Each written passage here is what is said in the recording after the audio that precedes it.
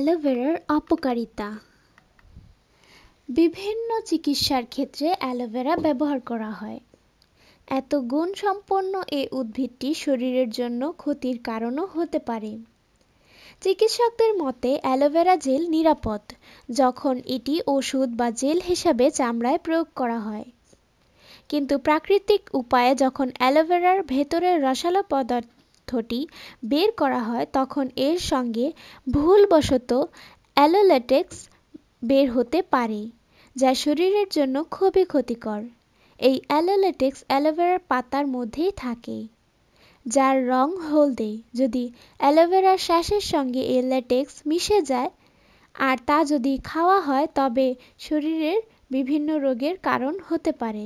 অ্যালোলেটেক্স পেটে ব্যথার কারণ হতে পারে। আর অজান্তেই যদি লেটেক্সের দীর্ঘমেয়াদী ব্যবহার করা হয়, তবে ডায়রিয়া, কিডনি সমস্যা, কম পটাশিয়াম, পেশি দুর্বল, ওজন হ্রাস ও হৃদয় ব্যাঘাত ঘটতে পারে, এমনকি কিডনি ফেলের ঝুঁকিও রাখতে পারে। শিশুদের ক্ষেত্রে এটি ত্বকে ব্যবহার করা যেতে পারে, তবে অ্যালোল্যাটেক্স খাওয়ানোর মাধ্যমে শিশুর পেট ব্যথা ও ডায়রিয়া হতে পারে। অ্যালোভেরা ওষুধ হিসাবে ব্যবহার করা হয়।